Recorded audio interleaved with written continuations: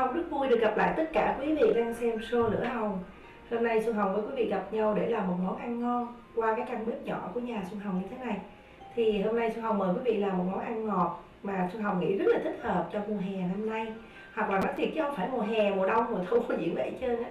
À, Thưởng thức món này cũng rất là ngon, nhất là khi nhà mình có tiệc tùng. Đó là món chè xương xa hạt lựu. Xin mời quý vị vào bếp.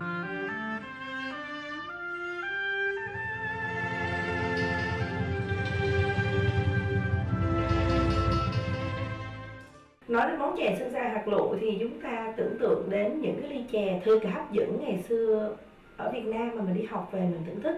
Nào là chè ba màu, chè sơn sa hạt lựu chè chè đậu đỏ bánh lọt đủ thứ chè hết trơn á. Thì chè sơn sa hạt lựu ngày hôm nay xuân hồng với quý vị làm, là làm từ củ năng. Củ năng thì quý vị có thể mua củ năng tươi hay củ năng trong lon như thế này cũng được, mình sẽ làm hạt lựu rồi xương xa thì chúng ta làm từ cái gói rau câu mà quý vị thường thấy bán ở các chợ, quầy cashier mấy cô hay có. Rồi, chè xương xa hạt lựu của Xuân Hồng, còn có đậu xanh đánh nữa. Thì đậu xanh đánh làm từ cái gói đậu xanh như thế này và cái cách làm như thế nào thì Xuân Hồng đã có một show làm chè đậu xanh đánh rồi. Quý vị nhớ không? Nếu quý vị nào đã xem chè đậu xanh đánh của Xuân Hồng rồi thì quý vị làm y chang như vậy. Thì có, quý vị có những cái ờ, đậu xanh như thế này để làm chè đậu xanh đánh và ngày hôm nay chúng ta dùng đậu xanh đánh để mà làm trong, cho thêm vào cái món chè xương xa hạt lựu cho nó ngon nếu quý vị chưa coi cái món chè đậu xanh đánh của Xuân Hồng thì Xuân Hồng mời quý vị lên internet vô, vô YouTube search ra là chè đậu xanh đánh Xuân Hồng thì sẽ có những cái món ăn trên YouTube. Tại vì chị Kim là khi đi sơn đã giúp Xuân Hồng. Thì bên này Xuân Hồng có cái nồi nước sôi nước sôi rồi. Cái nồi nước sôi này để tí nữa Xuân Hồng luộc hạt lựu chứ không có gì hết. Thì quý vị làm chè đậu xanh đánh theo cách của Xuân Hồng hướng dẫn nhé. Đơn giản là đậu xanh nó chín lên cho đường nước dừa này vô thôi. Rồi Xuân Hồng có cái nước đường để mà mình cho vào cái à, ly chè xương xa hạt lựu thì nước đường Xuân Hồng nấu công thức như thế nào thì chút xíu nữa Xuân Hồng sẽ trở lại với quý vị. Bây giờ việc đầu tiên đó, mình phải nấu xương xa. Xương xa thì Xuân Hồng có hai, làm hai loại xương xa. Một loại xương xa màu trắng và một loại xương xa màu xanh. Để thứ nhất đó mình cắt ra, mình bày biện cho cái ly chè nó nhìn nó ngon, đẹp mắt hơn. Và thứ hai đó thì làm cũng rất là dễ, tại sao mình không làm hai màu cho đẹp nha thì cái công thức của xương Hồng để làm cái xương xa để làm cái món chè xương xa lụ cho nó khác hoàn toàn ở cái rau câu. Rau câu mình sống ra từng miếng có ba màu mình ăn là cái công thức khác. Còn cái công thức này hôm nay xương Hồng làm xương xa này là để làm món chè xương xa hạt lựu. Tại vì nếu như mà chè xương xa hạt lựu mình làm nó mềm như là rau câu mình cắt từng miếng ăn á, thì bỏ vào chè nó không có ngon nó không có giòn mà cái xương xa, cái rau câu mà mình làm để cho vào cái chè xương xa hạt lựu nó phải cứng hơn, ít nước hơn là mình làm những cái xương xa, những ổ xương xa bình thường, những ổ rau câu bình thường. Thì vật liệu này hôm nay Xuân Hồng dùng là 7 khắp nước lạnh cho một gói rau câu như thế này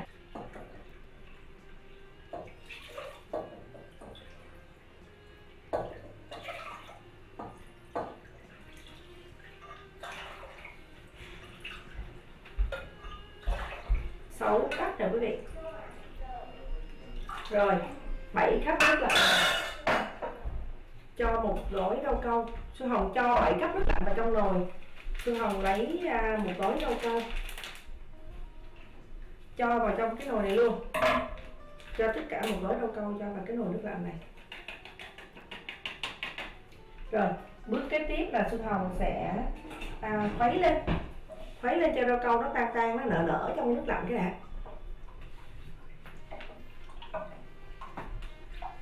rồi bước kế tiếp sư Hồng cho vào đây là một khắp rưỡi đường cát. Phải có đường cát chứ không thôi là đâu câu nó lạc nhắc làm sao, đúng không? Một khắp rưỡi đường cát. Nếu quý vị không thích ăn ngọt lắm thì cho một khắp thôi, nhưng mà sư Hồng cho một khắp rưỡi.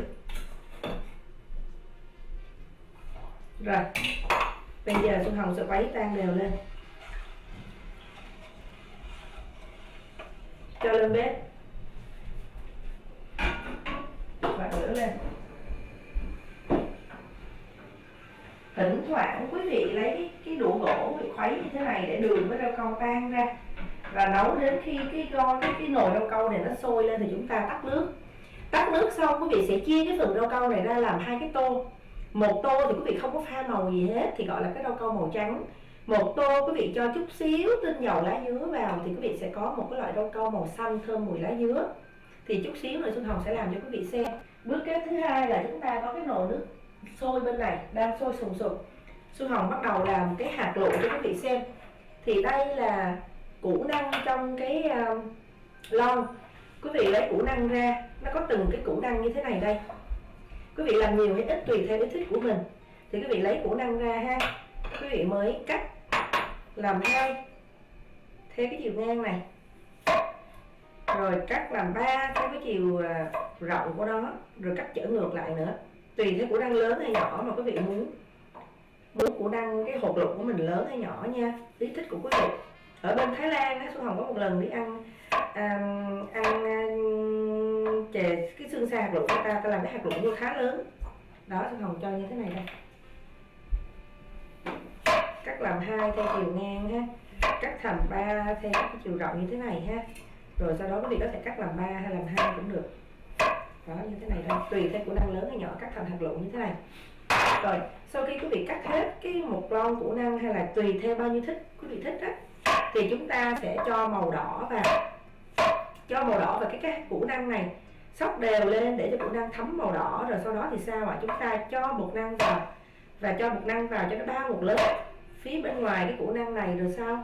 Rây bột năng bớt đi, rồi chúng ta sẽ luộc trong nước sôi sùng sục củ năng nổi lên là là ok rồi, là chín rồi. Rồi quý vị mới bắt đầu xả qua nước lạnh. Rồi chúng ta sẽ cho vài ba muỗng đường vào vào cho cái hạt lựu này. Để cho cái hạt lựu mình nó đừng có dính vào nhau. Đồng thời nó thấm đường, nó ngọt ngào hơn là nó lạnh nhất. Rồi, cứ như vậy quý vị cắt nha. Cắt chút xíu nữa rồi xuân hồng trở lại cùng với quý vị làm món chè xương xa hạt lựu ăn rất mát mát rười rượi luôn. Đặc biệt là dành cho quý vị nào hảo ngọt giống như xuân hồng. Mà nói chứ phụ nữ chúng tôi ai cũng hỏi ngọt hết trơn, đều đều dạy ghê. Cảm ơn quý vị, xuân hồng. Tiếp tục cắt chút xíu nữa sau trở lại với quý vị nha. Quý vị thân mến, đây là củ năng xuân hồng cắt ra hạt lựu như thế này, to nhỏ tùy theo ý thích của quý vị. Rồi bây giờ xuân hồng sẽ cho màu đỏ vào. Thường thường hạt lựu thì màu đỏ mà, quý vị nhớ không? Cái trái lựu đó, quý vị nhớ không? Cái hạt ở trong là màu đỏ mà. Nên xuân hồng cho màu đỏ chứ không có cho màu xanh thì cứ nhỏ vài ba giọt màu đỏ vào rồi mình à, mình mình trộn lên thôi rồi tính coi là nó nó vừa chưa nó vừa màu chưa. Cái này đó quý vị có khách là khách khứa nhà có tiệc tùng quý vị làm một cái nhiều nhiều chút xíu là khách cũng thích lắm. Rồi sau khi đã cho bột năng vào đây rồi à, cho màu đỏ vào rồi đó thì quý vị sẽ cho bột năng vào bột năng thì quý vị cho khoảng ờ, tùy theo quý vị cho bao nhiêu cũng được hết. Mình cứ sắp trộn đều lên rồi mình bỏ bớt đi thôi. Cho nhiều nhiều chút xíu để cho cái hạt lựu nó bám đều cái cái bột năng ha quý vị ha. Cho hồng cho khoảng 4 năm muỗng canh bột năng với lại uh, nửa lon mà số hồng mới cắt nửa lon thôi. Nửa lon hạt hà nửa lon củ năng. Rồi trộn đều lên sóc đều lên. Hoặc là quý vị cho củ năng vô cái bịch ni lông rồi bỏ bột năng vô sóc lên cũng được. Hay làm những mắt công ấy. Tôi hồng làm vài nhanh nhanh cho rồi. Rồi vị thấy là cái củ năng của mình bây giờ là nó bám xung quanh một lớp bột năng, đúng không? Rồi, bây giờ xuân hồng mới đổ vào đây. Đổ hết vào đây. Rồi đây ra. Sóc đều chút xíu. Rồi, xong. Coi như một năng dư mình bỏ đi, còn cái này á, thì nước bên này đã có sùng sục này xuân hồng cho tất cả củ năng đã sóc ra. Đó lấy đều chút xíu để cho củ bột năng à, củ um, hạt lựu mình nó không dính vào nhau. Tí nữa những cái hạt lựu này nó nổi lên trên quý vị vớt ra cái rổ rồi xả qua nước lạnh là xong. Xong xuôi cái phần đó rồi bây giờ phần tiếp kế tiếp là cái à, rau câu của mình. Rau câu của mình thì xuân hồng nấu đã sôi lên rồi đã tan hết rồi hồng tắt lửa. Thì đây là cái nồi rau câu mà nãy xuân hồng nấu một gói rau câu với lại bảy thắp nước lạnh quý vị nhớ không? Xuân hồng nấu sôi đều lên xuân hồng đổ vô đây tùy theo quý vị muốn màu xanh nhiều hay mà là màu trắng nhiều thì chúng ta chia ra đều là hai tô. Đó. Rồi, bước kế tiếp thì xuân hồng sẽ cho màu xanh lá dứa, tinh dầu lá dứa này quý vị cho vào. Bên này thì hạt lựu chúng ta đang nổi lên là chờ chút xíu. Rồi đây là cái tinh dầu lá dứa đó. Xuân hồng cho vào cái màu à, xanh. Làm cái hạt xương xa màu xanh nè hồng cho khoảng nửa muỗng cà phê thôi. Nếu quý vị muốn đậm hơn thì cho thêm nha. Tùy theo ý thích của quý vị. Cho thêm tí ti nè. Một giọt nữa. Rồi, được rồi. Đầu lên. Khi mà rau câu đang nóng gặp cái tinh dầu lá dứa tan ra liền, quý vị, cho nên quý vị không có sợ đâu. Rồi, dẹp cái này qua một bên này đó, quý vị sẽ có là đây là để cho nguội thành cái rau câu màu trắng. Đây để cho nguội thành rau câu màu xanh. Thì bây giờ xuân hồng đã có hai cái xuân hồng đã làm sẵn rồi, chứ không thể nào mà chờ làm sao mà ăn được không? Chờ mấy tiếng đồng hồ bỏ tủ lạnh nữa chứ. Thì đây của xuân hồng là màu xanh và đây là màu trắng nè, rau câu mình có sẵn rồi. Tại vì chè xương xa hạt lựu thì mình phải có xương xa đúng không ạ? Và đa số quý vị dùng xương xa màu trắng mà thôi, nhưng xuân hồng muốn có xương xa màu xanh để cái ly chè của mình nó đẹp hơn và nó cũng ngon miệng hơn, nó thơm mùi lá dứa cái màu trắng này nếu quý vị thích cho chút xíu vani vào thì nó có hương vị vani. Và cái này thì cho lá dứa vào nha. Rồi, cái màu trắng xuân hồng sẽ thái sợi và màu xanh xuân hồng sẽ thái hạt lựu đó, quý vị thấy điệu như vậy đó. Rồi cái này để qua bên cho nó nguội và nó đông lại. Còn bên này thì xuân hồng có câu câu rồi. Bước kế tiếp là xuân hồng có hạt lựu hạt lựu bên này sôi rồi đó. Rồi xuân hồng hạt lửa nè. Vớt hạt lựu ra cái rổ quý vị thân mến, xuân hồng đang bày hàng xén ra, hàng xén để bán chè sinh ra hạt lựu cho quý vị. Thì giống như xuân hồng nói, hạt lựu sau khi mà quý vị lấy củ năng ra cho màu đỏ, cho bột năng vào rây bỏ bột năng đi, thì luộc lên thì chúng ta thả nước lạnh, chúng ta có một ừ, củ năng như thế này, hạt lựu này. Xuân hồng mới cho vào đây là một muỗng đến hai muỗng canh đường. Để làm chi ạ? Để cho cái củ năng mình nó thấm đường vào, nó ngon, với lại à, nó không có dính vào nhau, dính chùm vào nhau khi mà mình không cho đường vào tại đường cũng là chất mà nó làm cho những cái củ năng này không dính vào nhau mà đúng không? Rồi cho đường vào như thế này. Thì đây là củ năng. Sau lạc lựu chứ. Là mình làm xong rồi lạc hạt lựu rồi. Bước kế tiếp á, là xuân hồng nấu à, nước cốt dừa. Thì bên này xuân hồng có cái nồi rồi. Nước cốt dừa thì làm theo cách của xuân hồng giống như bao lần mà quý vị làm thôi. Một lon nước cốt dừa sa voi nè. Xuân hồng cho vào nửa lon nước lạnh. Rồi Xuân Hồng cho vào đây là hai muỗng canh đến 4 muỗng canh đường cát, tùy theo ý thích quý vị muốn. Xuân Hồng cho ba muỗng canh đi nha. Rồi Xuân Hồng cho cái viên muối vào, lấy vài hạt muối cho vào. Cho bó lá dứa nhỏ nhỏ vào, rồi đun sôi lên. Khi mà nước dừa sôi rồi đó, chúng ta sẽ lấy khoảng một muỗng đường một muỗng canh, một năng thôi đánh chút xíu nước lạnh cho vào để cho nước dừa mình nó sền sệt. Thì đây là cái nước dừa xuân hồng đã nấu sẵn rồi để cho nguội. Rồi, bây giờ việc tiếp theo là xong xuôi hết rồi thứ nhất á, là xương sa xương hồng đã làm cho quý vị xem rồi. Một gói rau câu bảy khắp nước lạnh một khắp rưỡi đường cát. Quý vị đun sôi khuấy tan đều lên rồi bỏ lên bếp đun sôi. Sôi rồi quý vị chia làm hai một bên là quý vị cho hương vị vanilla vô một bên quý vị cho tinh dầu lá dứa vô để thực nguội thì nó đông cứng như thế này. Cái thứ hai thì nước đường. Nước đường quý vị cứ cho hai khắp đường cát thì một khắp rưỡi nước hai khắp đường cát, một khắp rưỡi nước. Quý vị khuấy tan đun sôi kỹ, tắt lửa để nguội thì chúng ta có nước syrup để làm chè sương sa rượu như thế này. Cái thứ ba, đậu xanh đánh đậu xanh đánh thì xuân hồng đã có cái xô nấu chè đậu xanh đánh rồi. Quý vị ke xem cách làm y chang như vậy. Rồi cái thứ tư là hạt lựu. Thì mình làm củ năng cắt hạt lựu ra, cho màu đỏ vô, sau đó cho bột năng vô, cho cái cái cái củ năng của mình nó bao bọc một lớp bột năng đều, rồi rây bột năng bỏ đi nước sôi cho hạt lựu vào luộc, hạt lựu nổi lên là chín rồi. Chúng ta đem xả nước lạnh vào và cho vài ba muỗng đường vào đây. Rồi, cái này thì chúng ta có đá bào. Bây giờ không còn chần chờ gì hết xuân hồng sẽ lấy cái ly ra bày chè sương sa được bán cho quý vị nha. Ngon lắm đi, thôi nó bụng lắm rồi. Trước hết thì xuân hồng lấy đá bào cho vào ly.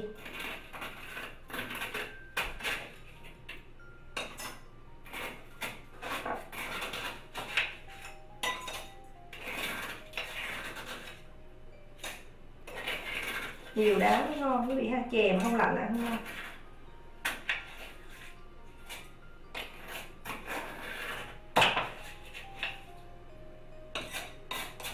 rồi. Bắt đầu cho vào đây như thế này. Rồi. Bước tiếp theo đó thì xuân hồng sẽ à, cho đậu xanh đánh vào. Múc một miếng đậu xanh đánh nha. Nhiều ít tùy theo ý thích của quý vị. Đó cho đậu xanh đánh vào cái bước tiếp theo nữa đó thì xuân hồng sẽ cho hạt lựu. Đó hạt lựu nhiều ít tùy thế thích của quý vị. Chè này mình làm ở nhà thôi mình bán rẻ rẻ chút. Rồi bây giờ xuân hồng bắt đầu cho xương ra xương xa màu xanh giống như xuân hồng hồi nãy nói là xuân hồng sẽ cắt ra. Ồ cứng ngon quá. Xuân hồng sẽ cho à, uh, xương xa màu xanh xuân hồng cắt hạt lựu. Giống như cắt hình vuông vuông đó quý vị. Còn xương xa màu trắng thì xuân hồng cắt sợi. Đó cắt vuông như thế này. Rồi giờ Xuân Hồng cắt từng miếng vô và cái xương xa cái rau câu mà để cho làm chè xương xa hạt lựu mình nấu cứng hơn là cái xương xa mà mình đổ thành ổ mình ăn nha quý vị nha. Rồi coi như xương xa màu xanh cắt thành vuông ha. Bây giờ xương xa màu trắng xương hồng sẽ cắt ra um, hình hình sợi. Có thể quý vị lấy con dao bào ra cũng được còn không thôi làm xô như xuân hồng cắt luôn cho nó tiện cho rồi ha. Đó thì mình sẽ cắt sợi như thế này. To nhỏ tùy theo ý thích của mình.